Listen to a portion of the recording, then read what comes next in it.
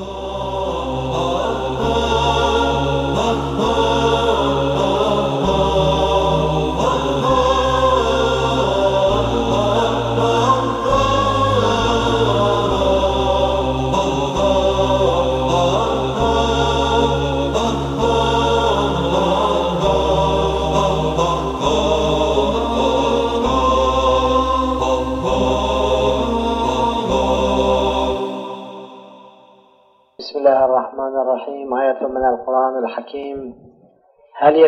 الذين يعلمون والذين لا يعلمون إنما يتذكر أولو الألباب.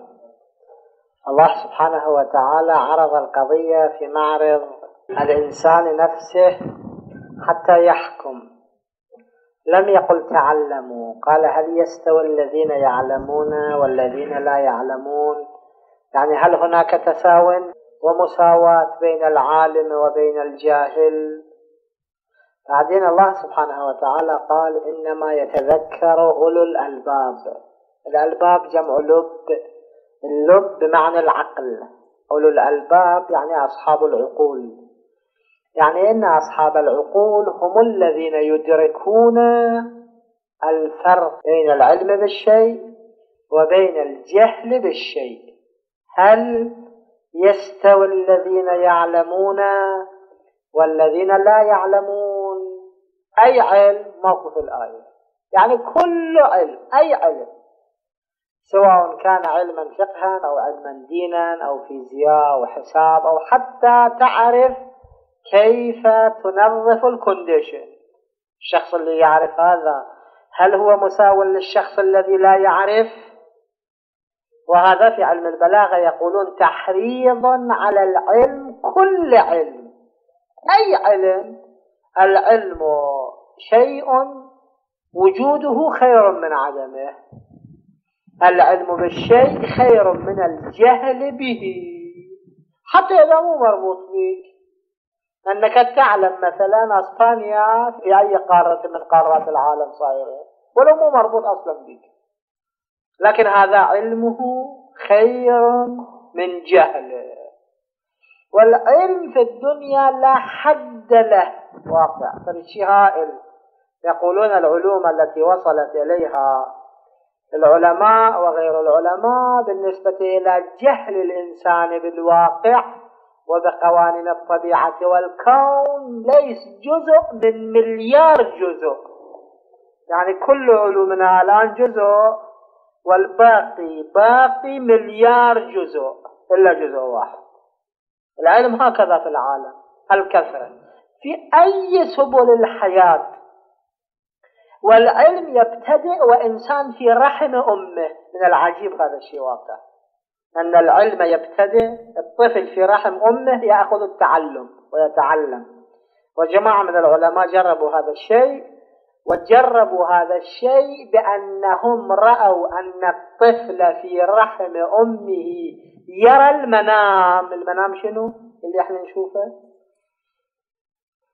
هذا الطفل وهو في رحم أمه يرى المنام نوم بسبب أمر خاصة وصلوا إلى مخ الطفل وهو في رحم الأم يعني مخ الجنين. وجدوا أن الإشارات التي يعطي مخ الإنسان في حال النوم والذي يدل على أنه يرى مناما نفس الشيء موجود في الطفل فعرفوا بأنه أيضا يرى طيفا. يعني ينام الطفل في رحم الأم ويرى الطيف. هذا ما يذكره أحد علماء مصر عبد الرزاق نوفل عن جماعة من علماء الغرب ينقل هذه القضية. على كل العلم يبتدئ والإنسان في بطن أمه. ثم بعد ذلك حتى وقت اللي خرج نحن نشعر ونتصور أن الطفل لا يفهم. لا الطفل كل شيء يفهم. بس لا يتمكن من عكس ما يعلم. يقولون إن مخ الطفل يأخذ مثل الشريط. خلوا هنا شريط. الآن جاي يسجل هالكلمات. لكن هل يتمكن من الإرجاع؟ لا. إلا إذا ضربت زرا خاصا يرجع المعلومات. الطفل هكذا. وحتى إذا كبر ما شعر. يعني أنا شخصيا أو أنت شخصيا في حال كوننا شهر أو شهرين أو أسبوع أو أسبوعيا استوعبنا أشياء في مخنا من طريق العين أو طريق الأذن أو طريق اللمس أو ما أشبه. لكن هل نعرف هذه الأشياء؟ لا. لكن مخنا تلقائيا تلون بهذا اللون. ولو إحنا ما نشعر أنه شنو أخذنا. ولذا من المستحب شرعا أن الإنسان يؤذن في أذن المولود اليمنى ويقيم في أذنه اليسرى. مستحب شرعا إذا جاء المولود إلى الحياة يؤذنون في أذنه اليمنى. أذان أذان الصلاة. ويقيمون في أذنه اليسرى. هذا ثبت علميا مو بالنسبة إلى الأذان بالنسبة إلى أي شيء تكلمت مخ الطفل يأخذه. ولو هو بعد ذلك ما يشعر بهذا الشيء لكن مخه تلقائيا تلون بهذا اللون. صارت عندنا فرد قصة جميلة في العراق. فرد واحد كان من أصدقائنا يعني صار من أصدقائنا. هذا أبو حسن اللي تعرفوه جمعة جاسم. هذا أبو حسن قال عندنا صديق في شركة النفط. هذا في بغداد هو. وكان في شركة النفط سابقا. قال عندي صديق في شركة النفط. هذا الصديق صبي صابي لكن إنسان لين هو. أنا في كربلاء ذاك اليوم. قلت له لأبو حسن قلت جيب هذا الصديق الصابي عندي أتكلم وياه. لأن أنا سابق على هذا الشخص كم صبي سويناهم مسلمين في كربلاء. كان عندنا فرد واحد ناجي صبي وواحد آخر وواحد آخر. كلمنا وياهم صاروا مسلمين. في قصص طويلة ما علينا بالقصص. شاهدي في كلمة من هذه القصة. فقلت جيب لي عندي في كربلاء. قال بمناسبة عيد أجيب لك. هو كان زميله في شركة النفط شركة النفط العراقية ذاك اليوم. فجاء شفت رجل تقريبا ذاك اليوم عمره خمسين سنة خمسة وأربعين سنة هالشكل. اجى عندي اسمك الكريم مانع غانم العيداني. قال لا السيد شايفه. إيه. قال اسمي مانع غانم العيداني. زين شنو انتو رأيكم؟ صابه قال فرد آراء جدا عجيبة غريبة. ولو أنا مطالع كتب الصابه وما وجدت هالاراء في كتبهم لكن هو قال هذه آراؤنا. من جملة على أنه نحن نعتقد بالسبع آلهة. لا سبعة. ومن جملة الآلهة فرعون. فرعون موسى هو إله. إلى هسه الصابة يتبين يعتقدون أنه كما كان يقول أنا ربكم الأعلى فهو إلى الآن ربهم يعتقدون به إلها بفرعون موسى ابن رمسيس الذي جسده باق إلى الآن. شهد على أنه من هالخرافات فرد خرافات قال كلش عجيبة غريبة. في كتبهم مو هالشكل والسبب أن الصابئة يخفون دينهم حتى عن أفرادهم هذا قاعدة الصابئة إخفاء الدين كأن الدين خاص بالعلماء فقط. بل مثل الدرزية وما أشبه دين خاص مو دين عام حتى كل أحد يتمكن من تناوله والمعرفة به تعلمه على أي تقدير؟ تكلمنا ويا منا لهنا كذا أدلة وحجج وبراهين فاقتنع وصار مسلما شيعيا بالنتيجة. هو عنده قلم وعنده يعني يعرف كتابه لأن هو في شركة شركة نفط وعنده فرد مقام لا بأس به. فقلت له ألف كتاب حول هذا الموضوع حول الإسلام وحول التشيع وحول أنك مسلم وأنه كذا وأدلة وبراهين. وبالفعل ألف كتاب. ونحن أيضا طبعناه في منابع الثقافة الإسلامية. بعدين قال شنو مراسيم الإسلام؟ علمناه مراسيم الإسلام صلاة وصوم وما أشبه. ومن جملة من مراسيم الإسلام الختان. لأنه غير المسلمين واليهود ما يختتنون. قاعدة كلية. اليهود يختتنون ومسلمون لم يختتنون. أما غير المسلم واليهود كالمسيحيين الشيوعيين غيرهم سيك ما أشبه هذول ما عندهم عادة ختان. فهو مو مختم قلنا له يجب أن تختم راح للدكتور للدكاترة مو دكتور واحد دكتور اثنين قال له أنت حرام عليك الاختتان. حراما طبيا يعني. لماذا حراما طبيا؟ قالوا لأن عندك سكر أنت وسكر كلش صاعد ما أدري 600 درجة 500 درجة فلان شيء. من هالوحدات المعروفة عند الدكاترة. وأنت إذا ختنت أن محل الجرح لا يبرأ وينزف دما حتى تموت. اجى عندي قال لي هالموضوع. قلت تتوافق من كلامهم؟ قال ما أدري لا طبيب ولا غير طبيب. قلت روح دور أصدقاء آخرين شوف. ماكو دواء ماكو علاج على كل هو تشجع راح من عندي وراح إلى الإمام الحسين وقال يا أبا عبد الله أنا أريد أجري هذا المرسوم الإسلامي وأنت احفظني لأن أنا اعتقدت بكم. راح واختتن وكل شيء ما أصابه. مثل الطفل في يوم ينطاب وراح.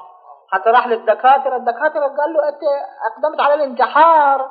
قال هذا كل شيء ما بيه خلاص. شجاعته النفسية والإمام الحسين عليه الصلاة والسلام من ورائه الروحية سبب أنه مر هذا الشيء بسلام بعد إطباق الأطباء الذين راجعهم على أنه من أخطر الأشياء الختان لك. شاهد مو في كل هذا شاهد في كلمة. أنا يجي عندي بعدين أحيانا من بغداد يجي عندي كذا زوجتي عصت ما أسلمت. ابدا. وإنما أولاده أسلموا. أولادي عندي كم ولد؟ بنات وبنين وكلهم أسلموا وسماهم محمد وعلي وحسن وفاطمة وحسين. من هالأسامي خلاها أساميهم وفي ذاك اليوم هاي القصة قبل 13 14 سنة 12 سنة الحكومة العراقية هم فصلته جزاء لإسلامه عن الشركة قال على أنه خلي يفصلوني أنا ما يهمني أنا عندي عمل وعندي قوة وعندي نشاط وأروح أكتسب اكتسابا آخر. شهد على أنه هو يجي عندي على طول الخط.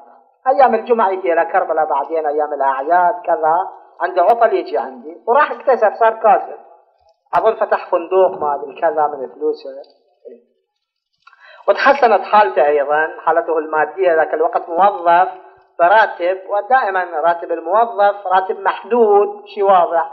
بينما الإنسان الكاسب والتاجر ربحه ليس بمحدود فتحسنت حالته أكثر فأكثر تحسنت حالته. وكان يقول هذا جزاء من الله سبحانه وتعالى لي حتى تحسنت حالتي المادية. بينما أنا سابقا كنت موظف راتبي محدود الآن غير محدود فلوسي. فرد يوم شاهدي في هالكلمة. من ذات الأيام أنا نقلت له موضوع الأذان في أذن اليمنى واليسرى للطفل المولود. وقت اللي قلت له هذا الشيء قال عجيب قام يتعجب فرد تعجب بالغ. قلت ماكو بيتعجب هذا الشيء. أنا لبالي هو يتعجب يستغرب من هذا القانون الإسلامي لأن هذا قانون تافه. في ظني أنه لأن كان عنده نوع من الثقافة. ظننت أنه يستهزئ بالقانون يعني مو استهزاء تعجبا من القانون. شنو فائدة؟ طفل يؤذنون في أذنه اليمنى ويقيمون في أذنه اليسرى أنا تصور هذا الشكل قال لا أنا تعجب أن هذا القانون من أعجب القوانين قلت شلون؟ قال الحقيقة أنا على طول الخط كان قلبي يحل الإسلام. بينما الصابئة متعصبين ضد الإسلام. وأنا كان قلبي دائما يحل الإسلام. وما كنت أدري شنو السبب. الآن تبين السبب شنو. شنو السبب؟ قال إحنا في العمارة. سكناني أصلا. وولادتي في العمارة. عمارة في منطقة في العراق. وعمارة تقريبا مركز لجماعة من الصابئة الصابئة الآن ماكو في الكويت أيضا. سمعت كم واحد منهم أكو هنا. صائغ. صاغة. صيغ الذهب وما أشبه. هم في العراق نفس العمل عندهم. هم صاغة على الأغلب. وهم يعيشون على الأغلب على ضفاف الأنهار. لأن عندهم فرد طقوس شديدة جدا. هذه الطقوس توجب لهم أن يعيشوا على ضفاف النهر. من جملة طقوسهم الدينية أن العقد يجب أن يقرأ مقدار ساعتين والعروس والعريس جالسان في النهر حتى في الشتاء. وهو قال لي قال في كثير من الأحيان يصاب العروس أو العريس بالروماتيز إذا كان الموضوع في الشتاء لأن هم لازم يقعدون بالشاب والعالم مالهم يقرأ وقراءة مطولة كأنه فالساعتين لازم يقرأ. هذول جالسين في الشاب النظافة عندهم كلش زائد. ثم عندهم نظافة متزايدة واقع وهم صابئة عندهم نظافة متزايدة. بمجرد أي شيء أوانيهم تنجس بدنهم ينجس صارت نظافة كل شديدة عندهم هم. فهم يعيشون على ضفاف النهر. فقسم منهم يعيشون في العمارة على ضفاف النهر. يعيشون هناك. قال أنا من جملتهم. أبوي وأمي هناك يعيشون. وأنا ولدت في العمارة. لأمي نقلت لي. هو يقول مانع غانم العيداني يقول أمي نقلتني أني لما ولدت إحنا العائلة جيران إلى عالم سيد في العمارة عالم مسلم عالم شيعي في العمارة هناك بيتنا مجاور إلى بيتهم فبحكم الجوار وهم سادة كأنه عالم وعندهم مسجد شخصية أمي وعائلتي دائما يروحون إلى بيوتهم ولو هم صابئة هؤلاء لكن هم كبيت مضياف عندهم مثلا كمضيف ما أشبه. ناس يروحون عندهم يجون. الترتيب اللي موجود عند العلماء على الأغلب. وما ذكر اسم العالم هو مانع يقول هذا جيراننا هناك. وأمي تنقلني. أني لما ولدت يعني أني المانع غانم العيداني لما ولدت أمي أخذتني بعد ثلاث أيام أربعة أيام عشرة أيام ما أدري بعد إيش كثر. أخذتني أمي إلى بيت هذا العالم. وكأنه أمي أعطتني إلى زوجة العالم. العالم أخذني إلي وأنا طفل وأذن في أذني اليمنى وأقام في اليسرى. قال أمي ما قالت أنه أذن وأقام. الآن أنت تقول أذان وإقامة بس أمي قالت إن العالم أخذني وشاورني في أذن اليمنى فرد وشاورني في أذن اليسرى فرد فهي مرأة أيضا ما تعرف هي مرأة صادقة أما ذاك العالم بأي مناسبة صنع هذا الصنيع لعله رأى شيء مستحب أو لعله ظن بأن هذول مسلمين مثلا هذا ولد مسلم وما أشبه وعلى كل هو كان مجري هذا المرسوم الإسلامي في أذني مانع غانم العيداني. وقت اللي أنا شخصيا نقلت له قصة استحباب الأذان في أذن اليمنى للطفل والإقامة في أذن اليسرى هذا قال الآن أنا عرفت أنه شنو سبب تحنني أنا للإسلام وكان ما كنت أنا أدري بينما أنا ما أعاشر المسلمين ما عندي معاشرة لمسلم أو شيء. أنا موظف في الشركة لا أكثر ولا أقل. وصديقي هذا أبو حسن أبو حسن الآن في الكويت موجود الحج جاسم السقاوي هذا اللي يشتغل يقول على أنه ما عندي أنا شيء مو مربوط لا بالمسجد لا بالحسينية لا بالخطيب وما أروح أبدا. هو من هالنوع إلى الآن من هالنوع يعني. من النوع المنغلق على نفسه. لأن الصابئة في العراق كلش منغلقين على أنفسهم باعتبارهم قلة وأقلية. ويخافون أن يذهب الدين من أيديهم فهم منغلقون. كل أقلية دائما تصير عادتهم الانغلاق على أنفسهم. فهو مانع يقول يقول أنا مو من النوع اللي يروح على الخطباء أو الحسينيات أو المساجد أو أسمع موعظة أو مختلط بالمسلمين هم من هذا النوع. وكنت أنا أتعجب لماذا يحن قلبي إلى الإسلام. الآن الذي أنت قلت هذا الموضوع فسر لي هذا الشيء اللي أنا 30 40 سنة ما أدري شنو السبب. الطفل شاهدنا في شنو؟ أنه تلقائيا يأخذ ذهنه الشيء وتلقائيا يلون بهذا الشيء الذي أخذه.